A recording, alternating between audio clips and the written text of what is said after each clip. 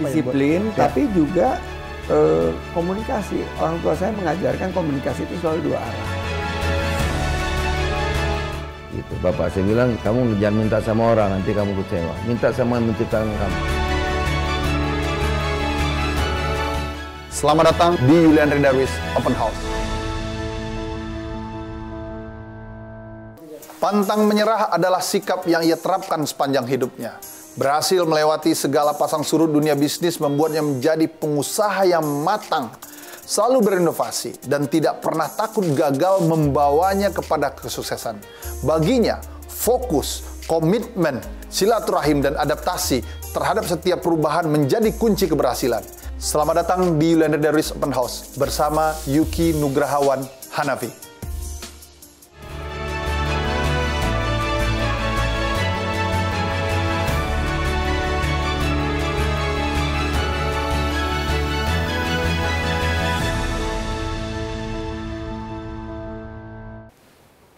Terima kasih.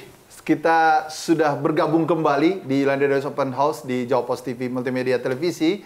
Dan sekarang kita kehadiran seorang sosok yang menjadi fenomenal dari suatu lembaga ekonomi negara bernama Kadin Indonesia karena menjadi nakoda harian dari Kadin Indonesia itu Kang Yuki Hanafi. Terima kasih Kang. Terima kasih, saya yang terima kasih. Atas ruang baiknya nih. Jadi bisa sharing khususnya dalam sebuah program yang menginspirasi ya bagi teman-teman kita tahu milenial zilenial dalam satu hari ini membutuhkan suatu vitamin-vitamin dari seorang tokoh-tokoh. Kang, gini, ini simple sebenarnya tapi agak rumit karena mengulang nostalgia masa lalu. Waduh. Yaitu kisah klasik yang mungkin bagi seorang uh, Kayuki mengingat-ingat itu lebih rumit ya daripada bicara tentang bagaimana tata kelola ekonomi Indonesia saat ini. Karena setiap hari pidatonya begitu. Nah, karena ini harus bercerita sedikit kan dari masa dari awal dari kecil seperti tumbuh kembangnya sosok seorang Kang Yuki, mungkin teman-teman uh, di seluruh Indonesia ingin sekali mendapatkan sebuah highlight bagaimana seorang Kayuki bertumbuh, berkembang menjadi sosok, seorang sosok tokoh nasional seperti saat ini. Mungkin bisa sharing sedikit Kang, cerita-cerita sedikit lah.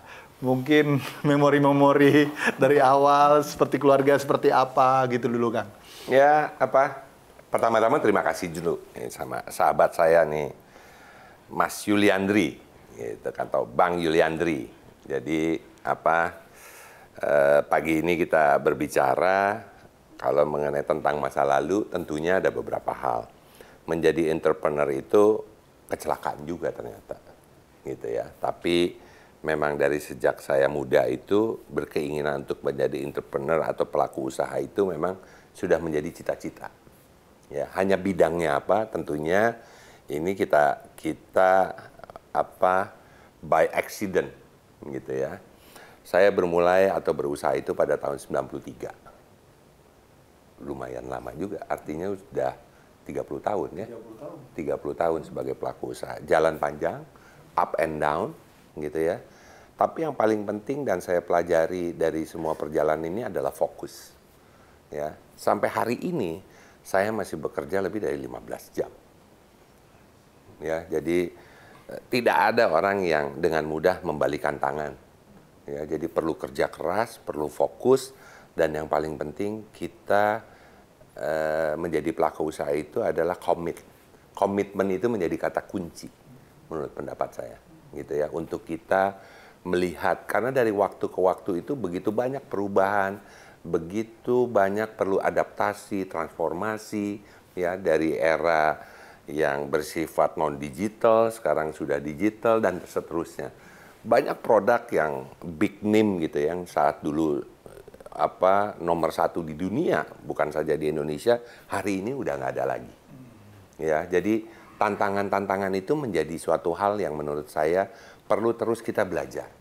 Jadi menjadi eh, pelaku usaha itu tidak ada waktu untuk kita tidak belajar, tidak ada waktu untuk kita tidak menjadi lebih fokus. Hmm. Ini kan menarik Kang, ketika sudah matang dimulai dengan entrepreneur tahun 93. Ini semua saya yakin pemirsa pengen tahu Akang tuh lahir di mana sih Kang? Kemudian tumbuh itu dengan mentalitas yang dengan dunia ini kan unpredictable nih. Tiba-tiba lahir seorang Yuki Nugraha Hanafi hari ini. Lahir di Bandung dengan keluarga yang waktu itu gimana sih kan kalau boleh Saya cerita? lahir di Bandung, Oke, tahunnya rahasia. oke. Tapi kalau lihat masih cukup muda. Asik. ya. Saya lahir di Bandung dari keluarga tentara. Tentara. Ya kan tentara, walaupun waktu itu terus ayah saya setelah pensiun menjadi pelaku usaha juga. Mungkin saya dulu banyak di banyak diilami oleh orang tua saya, oleh ayah saya. Pilihannya dua kan, kalau tidak menjadi tentara, dia menjadi pelaku usaha.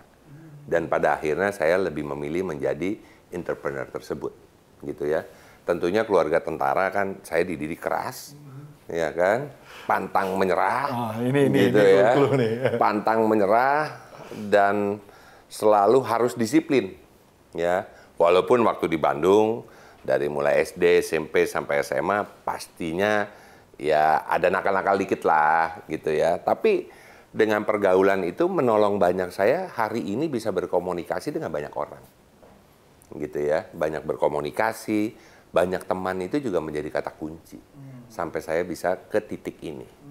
Dan ketika di SD itu udah ada seorang Yuki yang kira-kira inspirasi. Saya kayaknya pengen jadi ini deh. Ya. Ah, enggak, belum belum. Baru baru dulu kan ada jadi orang jadi pilot presiden Udah gitu kan. Ingin jadi pelaku usaha. Oke. Tapi Oh, dari awal. usahanya apa? Oh, dari SD itu ya? Dari SD. Oh, Oke. Ya dari SMP tertanam SMP? itu, Oh. SMA dan salah satunya Ah, di SMP. Ah. senang juga ya kita bisa membuka lapangan pekerjaan, gitu ya. Kan itu juga ada sesuatu yang menurut saya sangat mulia. Ya kita bisa membuka lapangan pekerjaan dan kita juga bisa melihat bagaimana teman-teman yang bersama kita tumbuh bersama. Kalau saya lagi down, lagi sedih, lagi apa, satu-satunya adalah kayak ibu ya karena tadi saya bilang kan ibu saya lebih lembut ya lebih mau mendengarkan kalau bapak kan lebih satu arah ya tapi kalau ibu bisa lebih dua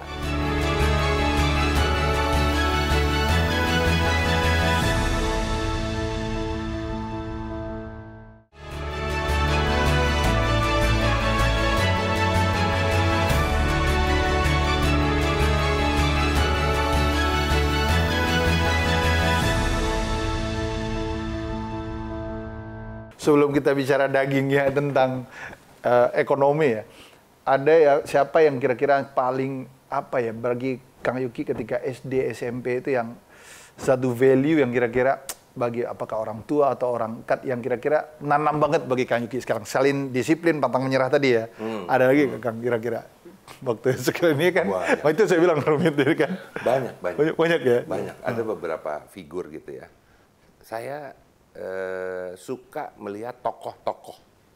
Ya saya kadang tidak mengenal juga dengan tokoh itu. Apalagi waktu saya SD SMP atau SMA gitu ya. Tapi tokoh itu pada saat itu sangat fenomenal gitu ya. Memberikan banyak inspirasi ya. Ambil contoh misalnya pendiri Astra pada saat itu Pak William Surajaya. Kebetulan dia orang Jawa Barat kan dari Tasik. Ya kan bagaimana mereka atau beliau ini memulai usahanya dari nol menjadi perusahaan yang sangat besar. Kenapa saya bisa tahu Pak William? Apa? Karena ya itu di lingkungan keluarga saya itu gitu loh. Ya kan? Jadi saya sering mendengar terus akhirnya juga walaupun tidak secanggih sekarang gitu ya untuk men search mencari Google. tahu orang Google pada saat itu belum ada gitu ya. Tapi menurut saya informasi itu sudah tertanam. Di ketika di usia kecil ya SD kemudian SMP nggak ada terbersih di tentara tapi memang pengen jadi pengusaha aja ya. Ada tuh jadi tentara. Ada juga. ada juga. makanya tadi saya bilang di depan kan. Iya, iya, jadi iya. ada yang mau apa ini pilihan saya cuma dua. Mau Dua jadi tentara. tentara polisi atau jadi eh, entrepreneur atau pelaku usaha gitu. Iya. dan ternyata terakhir saya jatuhnya malah di sini gitu. Dulu terpikir juga pada saat 3 SMA gitu kan. Kayaknya jadi polisi menarik juga ya. Mungkin saya kalau udah jadi polisi kalau bernasib baik udah udah jenderal juga mungkin. konjen ya sekarang jadi tengjen aja Tengjen. tetangga jenderal nah ini kan perlu diinin kan jadi kadang-kadang orang tidak tahu bahwa perjalanan pet hidup itu ada ada ada naik ada turun ya Pasti. mungkin mungkin kalau makanya kenapa eh, dalam eh, yang menarik dalam sebuah eh, kisah ini yang mungkin belum Kayuki ceritakan dari dunia-dunia media apakah televisi sosial media lain kisah yang mungkin dari SD, SMP, apa yang membuat Kang Yuki itu biar semua pemirsa juga paham. Apalagi Kang, sebelum kita uh, apa namanya bercerita tentang sesuatu yang keahlian dari Kang Yuki. Saya dari dulu senang bergaul. Oke. Okay. Ya kan, jadi saya punya banyak teman, alhamdulillah. Oke. Okay. Ya, dan ini menurut saya modal utama saya sampai hari ini di titik ini. Jadi pergaulan itu saya berteman dengan semua. Dari SD itu? Dari SD. Dari SD. Pindah-pindah SD nggak? SD satu aja? SD dua. Saya Duh. pertama di Taruna Bakti, terus saya pindah ke negeri SMP 5 Bandung. Oke. Okay. SMP saya juga negeri, SMA saya juga negeri. Jadi apa menurut saya dengan pergaulan itu dan saya tidak hanya berteman dengan teman-teman yang di satu sekolah, hmm. ya kan? Bukan saja bergaul dengan teman-teman yang di satu angkatan tapi hmm. saya bergaul ke atas, bergaul juga ke adik-adik kelas di itu. Itu menurut saya menjadi kata kunci saya bisa ke titik ini. Aktif bersilaturahim, aktif juga di organisasi nggak? Waktu di sekolah, waktu di sekolah belum ikan? Nah itu agak males dulu. itu karena itu. Tapi saya apa banyak bergaul aja, banyak berteman, banyak bergaul. Waktu pindah misalnya sekolah gitu ya, saya tetap juga berteman dengan teman-teman di sekolah saya yang sebelumnya. Iya, dan iya, sampai iya. hari ini. Nah ini menarik karena dan sampai hari ini ada orang pet orang di organisasi aja ternyata Kak Yuki nggak nggak aktif di organisasi malah sekarang menjadi komandannya organisasi. nah ini menarik bagi artinya bagi teman-teman muda yang merasa yang wah saya itu nggak aktif eh malas eh kan banyak tuh kan di SD SMP nggak aktif SMA aktif tapi lebih malas lagi hidup selanjutnya padahal hmm, hmm. organisasi adalah salah satu wujud dari silaturahim uniknya lagi cerita lalu apalagi Kang yang boleh di-share Kang? Ya banyak hal ya, banyak hal. Yang unik itu salah satunya uh, saya masih bersahabat dengan teman-teman saya yang di SD, SMP maupun SMA. Jadi selain saya menambah teman waktu saya hari ini gitu ya, dan silaturahmi itu tetap dijaga, ya dan kadang-kadang gitu dalam dalam hidup saya hari ini saya melihat kan ada teman yang memang hanya menjadi teman, hanya ada teman yang memang ada teman yang memang sekarang menjadi partner. Ya, saya punya sahabat dari saya sejak mulai berusaha sampai hari ini dan masih berpartner. Jadi menurut saya itu adalah sebuah komitmen, ya kan, kebersamaan. Walaupun saya tidak sering bertemu lagi dengan sahabat saya ini, partner saya ini, tapi kita masih dalam satu perusahaan gitu ya. Tetapi menurut saya dia salah satu orang yang sering mengingatkan saya. Kalau misalnya dan itu sangat bagus kan dalam kehidupan. Dan itu dari SD sampai hari ini saya buktikan dengan dengan sahabat saya ini. Ya, jadi menurut saya eh, buat saya ya, yang saya tanamkan dari kecil itu punya musuh satu itu berbahaya ya jadi eh, apa lebih banyak lebih baik kita lebih banyak silaturahmi. Karena silaturahmi itu menjadi kata kunci menurut saya. Dan itu sudah tertanamlah di diri saya gitu ya. Oleh karena itu beberapa kali gitu ya saya dalam pengalaman saya di SD SMP SMA itu banyak yang sampai hari ini terbawa dalam kehidupan saya. Dalam sebuah pesan dari sebuah orang tua bagaimanapun pasti ada ya Yuki harus begini, kamu begini. Apa yang sangat mendasar kalau boleh wujud lagi nih orang tua hadir di sini kan? Apa yang akan rasain? Ayah saya, ibu saya selalu memberikan kebebasan. Ya, untuk memilih dalam sebuah kehidupan kita ke depan. Dalam hal sekolah gitu ya, dalam hal pergaulan maupun dalam pekerjaan. Hmm. Gitu ya. Jadi beliau selalu membebaskan anak-anaknya termasuk saya. Hmm Ya, yang paling penting cuma satu aja, bertanggung jawab. Bahkan saya ingat betul, ayah saya itu nggak pernah tuh ke sekolah saya. Oh. Selama saya dari SD, SMA maupun kuliah nggak pernah. Oh. Tapi beliau memonitor dari dari dari jauh gitu ya. Hmm. Jadi kita dituntut dididik untuk menjadi orang yang bertanggung jawab. Dengan selab, tentunya dengan segala kelebihan dan kekurangannya. Hmm. Nah, yang mengisi itu adalah ibu saya ibu saya gitu ya. Jadi saya beruntung punya seorang ibu yang sangat mempercayai anak-anaknya gitu ya, seorang ibu yang selalu juga melindungi anak-anak. Hmm. Jadi menurut saya eh, saya sangat sangat bangga mempunyai kedua orang tua saya yang memang telah membesarkan saya, menuntun dan apa pun ceritanya itu, ya saya bisa ke sini kan karena mereka. Iya, iya, iya. Ya kan ayah saya sangat disiplin, ibu saya orangnya jauh lebih lembut. Jadi dua dua dua paduan gitu ya.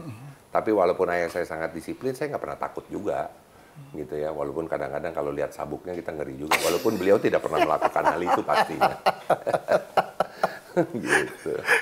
Nah itu dari ibu. Ibu terakhir apa yang kira-kira kenangan lagi yang mungkin Kang Yuki bisa Ibu itu tempat mengadu. Nah, ini, ini kan kan? seorang Yuki Nugraha Napi juga memerlukan tempat mengadu lah itu. mengadu. Kang, gimana Jadi Kang? kalau saya lagi down, lagi sedih, lagi apa, satu-satunya adalah ke ibu. Ya, karena tadi saya bilang kan, ibu saya lebih lembut, ya, lebih mau mendengarkan. Kalau bapak kan lebih satu arah. Ya, tapi kalau ibu bisa lebih dua arah. Gitu. Dan ibu saya orangnya sangat sangat baik lah. Sangat baik ke anak-anak. Saya belum rasanya saya nggak pernah dimarahin tuh sama dia Oh ya? rasanya mau rapot saya lagi bagus lagi jelek dia senyum senyum aja gitu kalau orang ayah saya malah bilang ya nanti yang ngejalanin hidup itu kamu sendiri kok jadi dari kecil udah ditanamkan itu jadi dia lepas ta- tapi dia perhatikan itu juga kurang lebih saya lakukan ke anak-anak saya sekarang Betul. karena dalam hidup pasti ada masalah kan tapi how we are manage that problem. Jangan lari dari masalah. jangan lari dari Selesaikan masalah. Kang, ya? selesaikan masalah sebisa dan semampu kita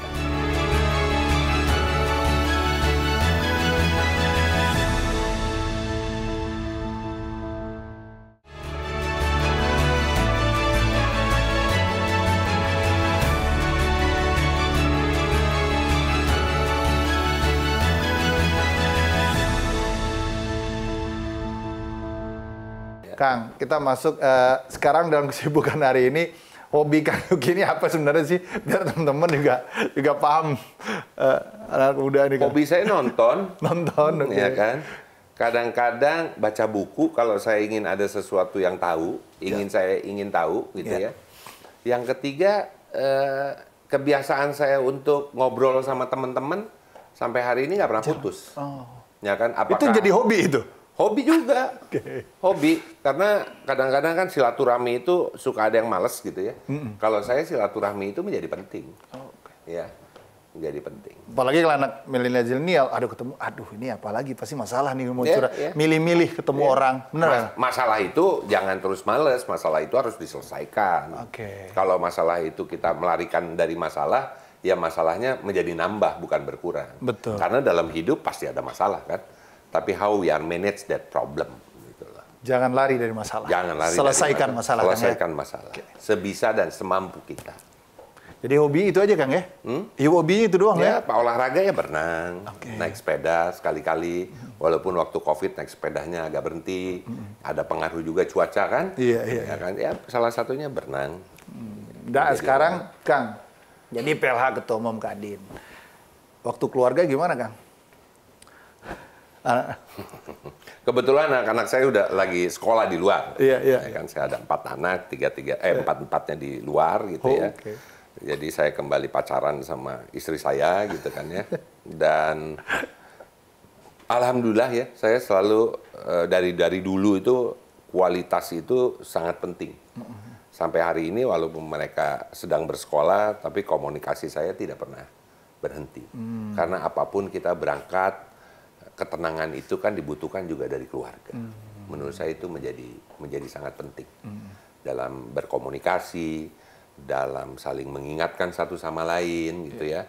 Dan anak-anak sekarang kan lebih kritis. kritis. Kritis. Ya, jadi juga kadang-kadang kalau dia lihat ada penampilan yang kurang pas gitu, ya kan. Kayak gini nih, Kayak nanti kalau keluar nih. di Jawa Post nih, viral ke mana-mana, protes ya. Nah, kalau ada yang kurang pas. Kurang pas, ya. Tapi hebatnya mereka juga kalau misalnya oke, they say oke. Gitu. Jadi itu yang menjadi Kang. Sekarang masuk nih wilayah yang eh, agak apa namanya yang pengen ditahu juga oleh publik.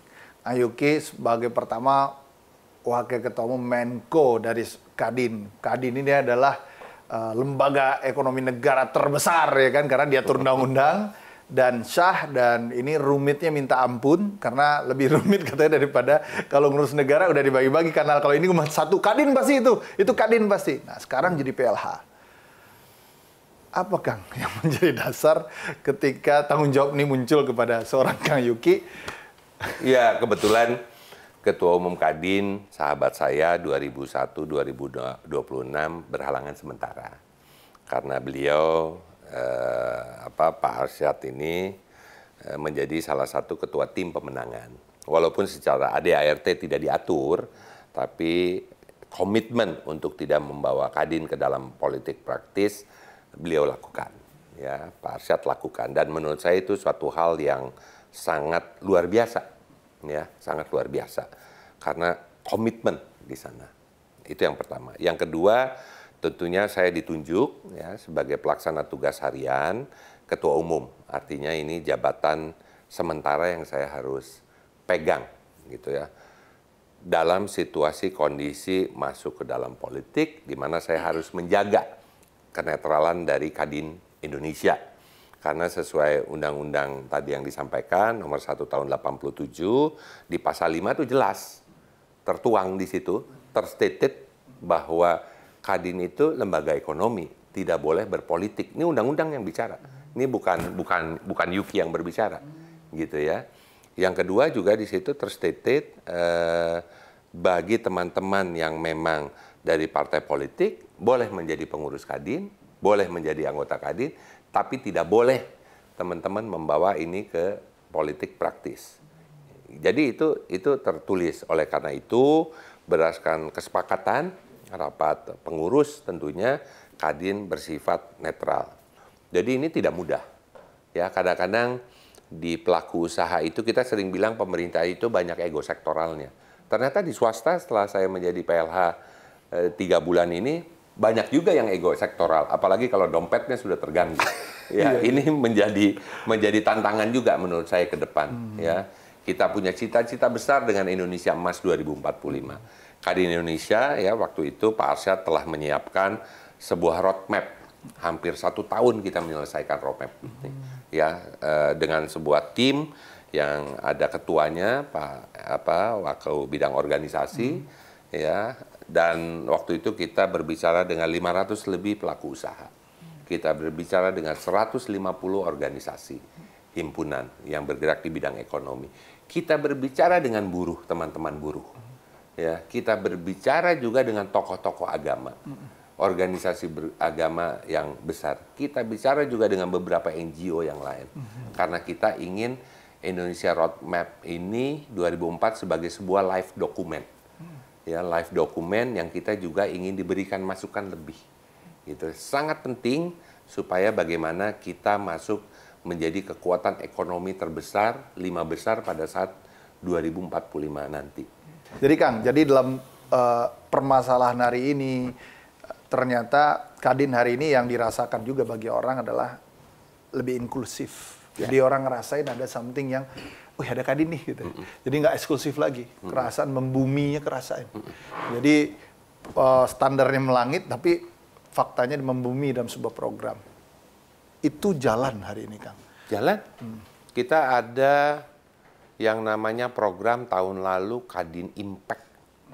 Ya, itu kita melibatkan seluruh provinsi, bahkan juga mengajak Kadin kabupaten kota. Ada 110 yang dinomi yang masuk ke Kadin Indonesia dan sekarang penilaiannya sudah selesai. Ya, ada di bidang pertanian, ada di bidang digitalisasi, sumber daya manusia. Ya, jadi pemenangnya pun sudah diumumkan. Jadi melihat dari partisipasi ini kita lebih bersemangat lagi dan tahun depan kita akan lanjutkan Kadin Impact ini. Kadin Impact ini apa? Agar Kadin itu dirasakan manfaatnya bukan oleh pelaku pengusaha besar saja, menengah, tapi kita juga ingin teman-teman yang di UMKM ini bisa naik kelas. Ya, bisa naik kelas. Kita membutuhkan pelaku-pelaku usaha gitu ya. Karena jumlah pengusaha di negara ini masih sedikit. Pelaku usaha itu apa? Saya sering kalau ketua umum sampaikan gitu ya. E, misalnya tukang bakso gitu. Dari mulai satu jadi sepuluh gerobaknya. Itu pun sudah pengusaha. Tapi bagaimana dia bisa lebih besar lagi. Jadi kita membutuhkan champion-champion baru gitu ya. Agar apa? Ini kan juga kita harus akui tingkat kesenjangan ini kan masih gapnya masih masih cukup besar. Ya untuk kita PR besar mencapai 2045 ini harus pada naik kelas, tapi di satu sisi entrepreneur pelaku usaha baru juga harus tumbuh. Anak-anak muda sekarang kan berbeda dengan kita saat itu. Anak-anak zaman sekarang tuh eh, bahkan ya saya juga banyak belajar dengan teman-teman yang lebih muda dari kita yang hari ini bisa lebih sukses juga dari kita gitu ya kan jadi kita belajar ini bukan saja kepada para senior ya ke yang lebih senior tapi juga ke yang lebih muda.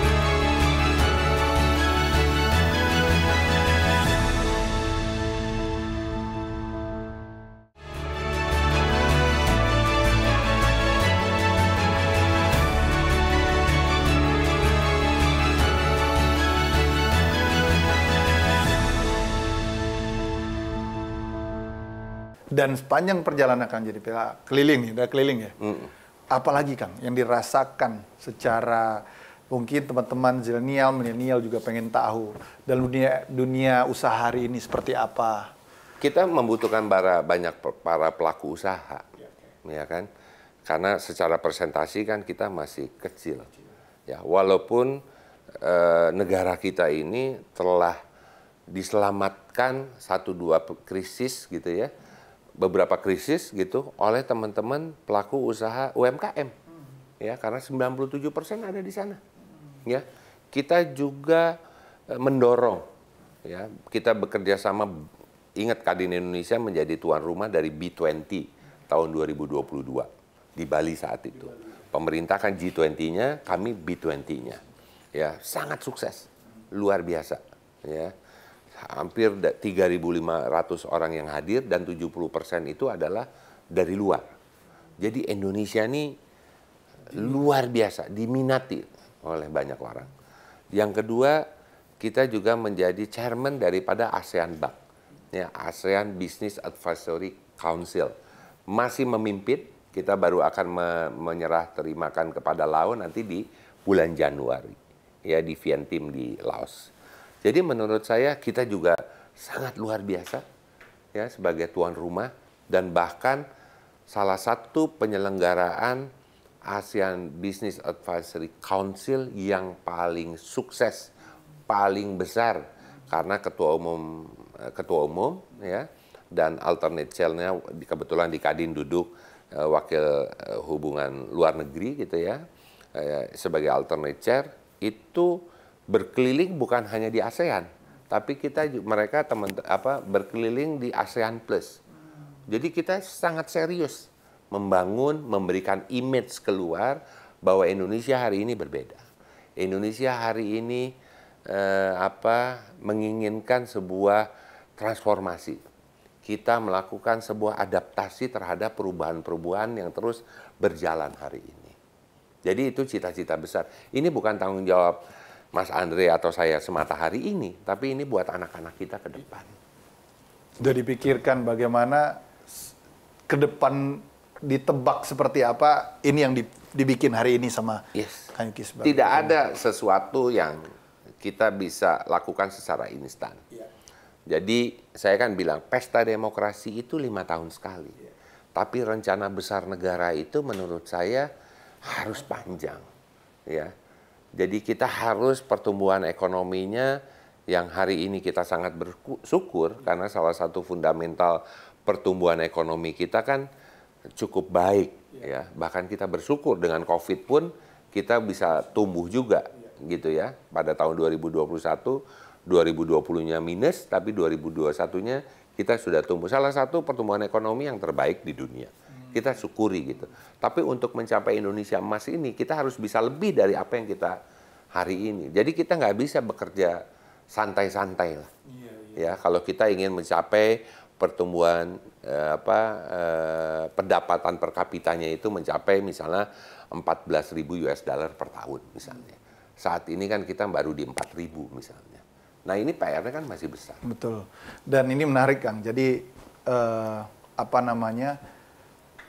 Ketika kita men, mengisi untuk masa depan ini dibikin fundamen hari ini ini anak muda. Kita bicarakan anak muda nih Kang. Bagaimana? Kita masih muda kan? Ih masih muda. Boleh mengaku muda. Iya. Semangatnya itu yang penting. Semangatnya. Saya melihat menarik dari seorang Kayuki, 15 jam bekerja masih per hari. Ini dunia anak-anak muda seperti apa yang yang ya mungkin boleh Kayuki sebagai coaching cepat lah dari Iya. nah, Anak-anak muda saat sekarang kan berbeda dengan kita saat itu. Anak- Anak-anak zaman sekarang tuh eh, bahkan ya saya juga banyak belajar dengan teman-teman yang lebih muda dari kita yang hari ini bisa lebih sukses juga dari kita. Gitu. Ya kan? Jadi kita belajar ini bukan saja kepada para senior ya ke yang lebih senior tapi juga ke yang lebih muda. Nah, yang muda ini juga melihat karena sekarang kan dunia sudah berubah. Ya, kan? kita harus bisa bertransformasi, kita harus bisa beradaptasi terhadap perubahan-perubahan itu. Seperti yang tadi kita bicarakan gitu ya. Jadi teman-teman yang muda-muda sekarang ini hebat-hebat. Mereka tuh jauh lebih fokus dari kita. Ya kan, tapi dia one juga yang lebih easy going. Gitu ya. Mereka ingin apa lebih simpel, tapi mereka para pekerja keras yang perlu kita dorong. Kita perlu semangati terus gitu loh. Karena saya ingetin aja sebelum juga memberikan coaching ke teman-teman di organisasi gitu ya. Tapi juga saya selalu mendorong ke anak-anak kita gitu ya. Bahwa persaingan ke depan itu sangat luar biasa. Kita baru bicara AI aja sekarang generasi pertama udah ribut. Ya kan jumlah tenaga kerja bertambah, jumlah mungkin kita harapkan pelaku usaha juga bertambah, tapi ada beberapa jenis pekerjaan juga yang sekarang tergantikan oleh digital misalnya. Ya, itu kan perlu diantisipasi terus. Yang dulu ya, saya kebetulan baru selesai menjadi ketua umum Asosiasi Logistik dan Forwarder Indonesia buat dua periode 10 tahun. 2014 pada saat baru menjadi ketua umum saya pernah bertemu dengan anggota yang di Jakarta lah. Ada seribu orang di sana. Walaupun anggota kita di Jakarta kurang lebih 1.400 perusahaan. Nah hadir, terus saya bilang, Bapak, Ibu, 2014 siapa yang memanfaatkan eh, apa melakukan melalui digital untuk memesan tiket misalnya, hotel waktu itu kan, ya kan, pesan makanan, Wah, hampir 80 persen angkat tangan. Terus tanya, Bapak Ibu sadar nggak dengan apa yang Bapak lakukan itu di sisi lain itu banyak perusahaan yang tutup. Iya kan? Semua kaget gitu kan, tutup gitu kan. Perusahaan-perusahaan travel agent waktu itu banyak yang tutup juga. Ya kan? Perusahaan-perusahaan yang tidak bisa memberikan nilai tambah. Perusahaan-perusahaan yang tidak bisa melakukan adaptasi terhadap perubahan. Saya bilang ke teman-teman, ya kan? Jadi kita sebagai pelaku logistik ya juga harus bisa melakukan adaptasi. Kita harus bisa melakukan kolaborasi. Nah, ini yang saya berikan ke teman-teman yang muda-muda ini supaya juga bisa mempunyai ide-ide baru, bisa melakukan kolaborasi-kolaborasi baru dan melakukan perubahan mengikuti adaptasi perubahan dari waktu ke waktu. Dan itu berlaku juga buat kita loh. ya kan? Bangsa Indonesia ini bangsa pekerja keras. Ya kan? Selain bekerja keras, selain fokus, banyak doa juga, jangan lupa. Ya kan?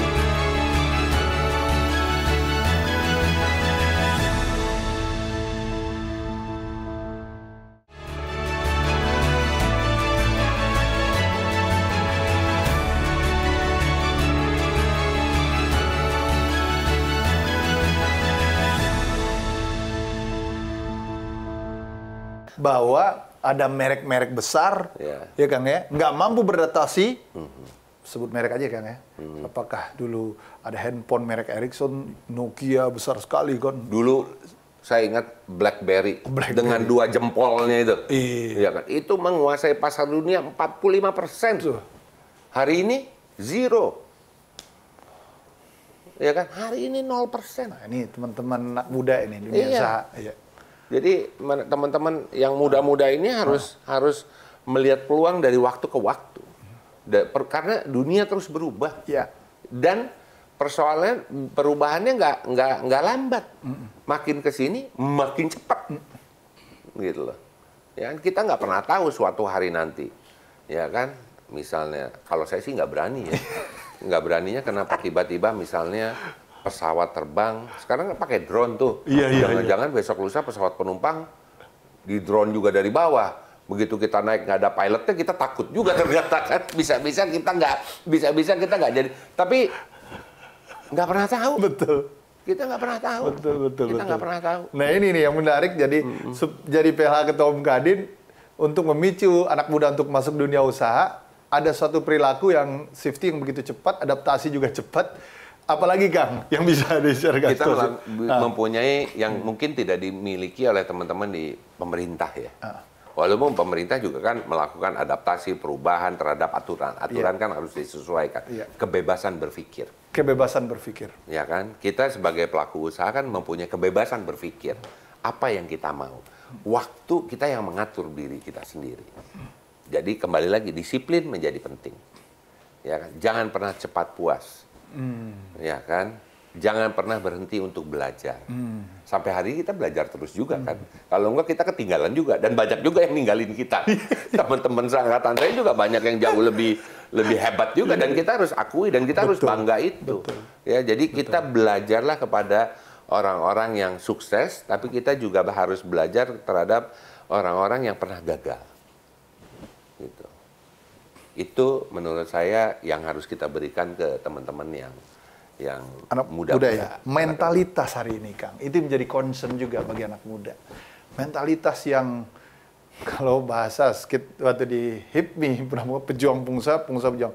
Tidak semua yang anak muda hari ini mampu berjuang dengan pantang menyerah seperti seorang Kang Yuki. Bagilah tips trik yang Kang apa yang harus menjadikan apa namanya dunia usaha itu jangan lelah, harus bisa adaptasi, apalagi Kang semangat semangat.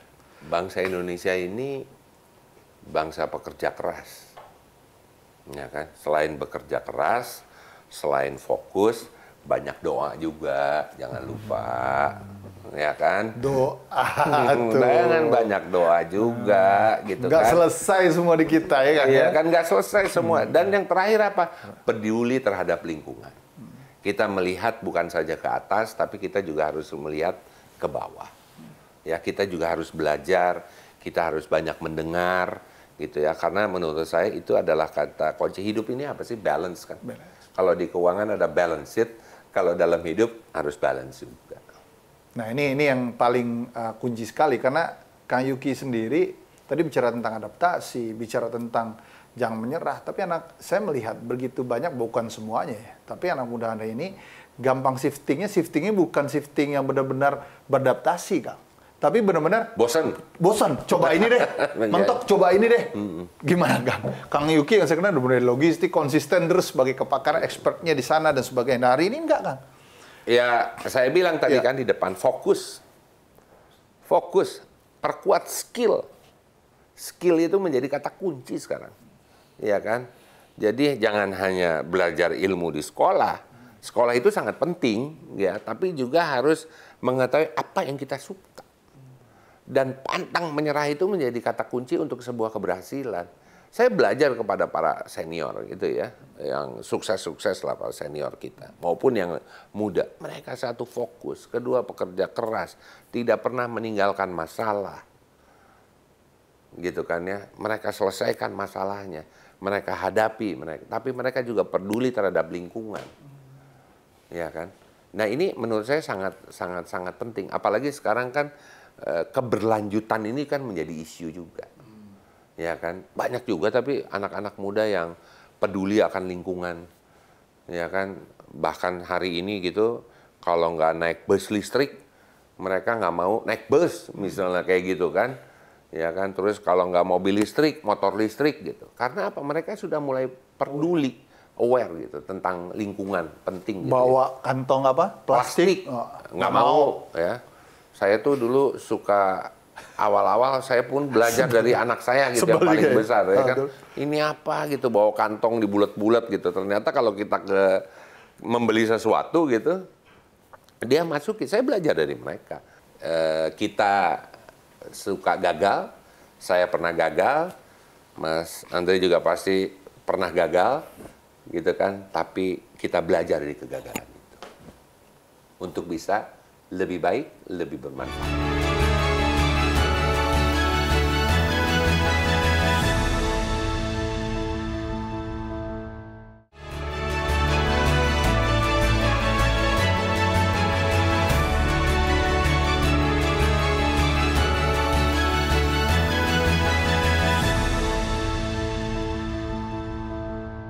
Dan di Indonesia nih perlu juga misalnya research and development.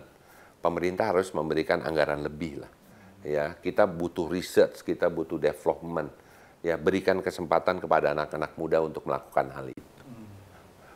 Orang kita pintar-pintar kok. Saya yakin tinggal kesempatan ini yang kita berikan. Dan pemerintah punya punya kewajiban itu. Kami di Kadin Indonesia bersama teman-teman semua gitu ya, kepengurusan hari ini, eh, kepengurusan di mana ketua umumnya Pak Arsad 2021 sampai 2026 ini, pengurus kita kan cukup gemuk, ada kurang lebih sekitar 1.400 pengurus, ya. Itu isinya 55 persen ternyata usianya di bawah 50 tahun. Bahkan ada beberapa sahabat saya, ketua umum di Kadin Provinsi, yang usianya di bawah 40 tahun. Jadi Kadin Indonesia selalu mempersiapkan regenerasi. Ya, bahkan ada yang usianya belum 30 tahun sudah menjadi pengurus. Dulu saya waktu belum 30 tahun kan kita di di HIPMI aja gitu kan, fokus gitu. Jadi sekarang mereka juga ingin belajar apa. Jadi yang masih masih apa tadi shifting gitu ya, yeah. bosenan, janganlah. Ini kan untuk masa depan. Jadi fokus harus mempunyai jiwa fighter lah. Ya kan? Jangan pantang menyerah. Itu kata kunci. Yang pengen instan. Nggak ada hidup dalam instan, kecuali memang dia penerus dari generasi kedua, generasi ketiga. Itu pun tidak salah. Tidak ada yang salah dengan itu. Ya kan? Tapi kita juga lihat kan tadi memberikan contoh ada dulu perusahaan yang begitu luar biasa di dunia tapi hari ini tutup. Jadi tetap mereka juga harus bekerja keras. Tapi mereka sudah beruntung, jauh beruntung dibanding mungkin yang bukan second generation atau third generation. Saya lihat di Indonesia ini ada beberapa perusahaan yang sudah mau masuk ke generasi keempat. Ya, itu kan kita bisa contoh juga. Dan bahkan salah satu yang terbesar gitu saya lihat anaknya jauh lebih humble. Dia menempatkan dirinya sebagai profesional misalnya. Itu kan contoh-contoh yang baik. Makanya saya dari dulu senang membaca buku terkait dengan figur-figur orang yang sukses. Termasuk yang fenomenal. Saya dulu suka Donald Trump. Iya, agak unik itu. Dengan segala cerita up and down kehidupan dalam berusaha, iya, iya. ujung-ujungnya dia presiden Amerika juga. Iya, iya, iya. Gitu lah. Dan begitu turun, banyak juga isunya lagi gitu kan ya. Tapi dia he still fight, survive. Value-nya apa kan? Fight. Iya, apa, kan? apa yang dari dia fight, dia juga uh, selalu ingin survive gitu kan. Hmm. Kan pernah naik, membangkrutkan diri, naik lagi gitu kan luar biasa. Jadi menurut saya semangatnya yang diambil. Ya, agak unik sih. Gitu. Orang mau apa pun protes, dia dalam kehidupan kan luar biasa. Gitu. Iya betul. Iya kan? Saya waktu di rumah itu, waktu pemilihan presiden Amerika saat itu, istri anak-anak saya semua mendukung lawannya. Saya aja yang mendukung. Terakhir, ah menangkan barang ini saya bilang gitu. nah kalau itu jago tuh Kak Yuki. Kak Yuki ketika orang kondisi weak, ah ini nggak mungkin nih. Dia mungkin jadi ya itu selalu. Itu yang yang dahsyat dari seorang Kang Yukin. Kang, dari dari pengalaman juga belajar. Pengalaman. Jadi salah, gak, salah juga sering juga. Suka juga lah bukan sering. Ya, Pernah ya, lah. Ya. Kang, apa hope dari seorang seorang Yuki Kang? hope apa nih? Tentang Indonesia, tentang masa depan, tentang ya generasi yang seperti akan sudah cerita dari awal sebenarnya. Ya. Kadin Indonesia telah membuat buku yang tadi kita bicarakan ya, Indonesia Emas 2045. Kadin Indonesia tentunya ingin menempatkan dengan seluruh stakeholder kepentingan bisa mencapai ke sana. Gitu ya. That's our dream. Soliditas, kebersamaan, saling mengkoreksi menjadi kata kunci. Filosofi tadi salah satunya kan kita ini sebagai sebuah negara gotong royong itu ternyata masih sangat penting. Gitu kan? Dan kita punya bineka tunggal ika yang mempersatukan kita dengan keragaman tapi kita bersatu. Ada 17.500 pulau. Ada 285 juta. Berapa suku, berapa bahasa yang kita miliki. Tapi kita tetap satu. Inilah yang harus menjadi tujuan dan visi besar kita ke depan ya bagaimana kita bisa mempunyai kualitas hidup bukan sekedar hanya lolos dari income trap tapi kita punya kualitas hidup yang lebih baik kesejahteraan masyarakat, kesehatan masyarakat. Kalau kesejahteraannya baik, kesehatannya baik, pasti masyarakatnya juga bahagia. Apakah kita punya cita-cita ke bulan tapi ekonominya juga susah? Lebih baik kita membumi tapi masyarakatnya bahagia.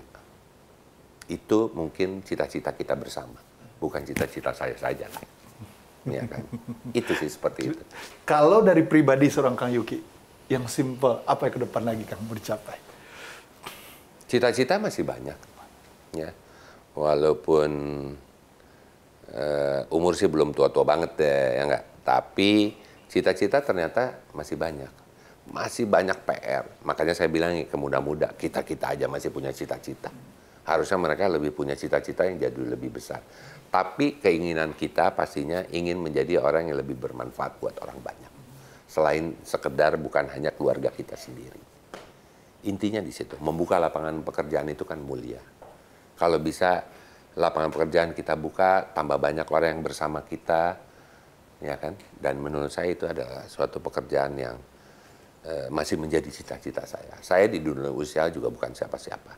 Tapi minimal kita punya komitmen bersama ya saya pribadi untuk bisa lebih saya bahasanya gini uang itu penting gitu kan sebagai sarana. Tapi bukan tujuan utama. Makanya ke yang muda-muda jangan uang yang dicari. Nanti kalau uang yang dicari duluan kerjaannya malah nggak ada gitu bekerja dulu. Walaupun di situ ada garis tangan macam-macam kan. Ada harus doa gitu macam-macam. Terus restu gitu kan. Dan yang terakhir tentunya saya lebih ingin banyak juga mendengar. Ya karena belajar itu tidak dibatasi usia. Hmm, gitu.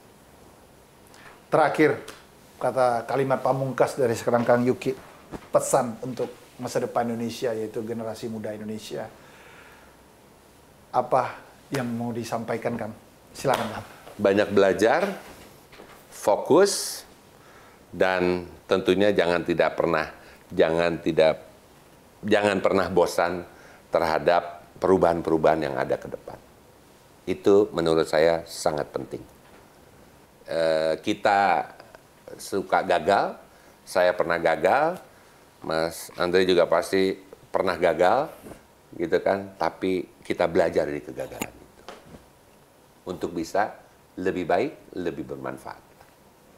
Kang Yuki Hanapi, terima kasih atas ruang waktunya kan. Terima kasih, saya terima justru terima, terima kasih. kasih. Kita akan kembali dari sebuah episode selanjutnya dengan tokoh-tokoh nasional yang selalu menginspirasi bagi generasi muda selanjutnya. Terima kasih. Assalamualaikum warahmatullahi wabarakatuh. Waalaikumsalam warahmatullahi wabarakatuh.